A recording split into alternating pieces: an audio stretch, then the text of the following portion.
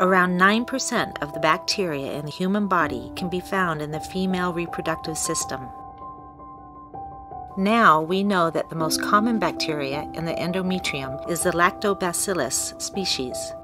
A high presence of these bacteria is necessary to conceive and carry a pregnancy to term. Women with normal flora have better reproductive outcomes than those with present endometrial pathogens. Recent research shows that presence of pathogenic bacteria in the uterus may generate implantation failure and pregnancy loss. As a consequence, low levels of lactobacillus in the endometrium could play a role in infertility.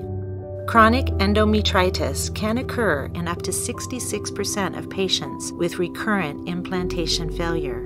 Women with poor endometrial flora also present low pregnancy rates.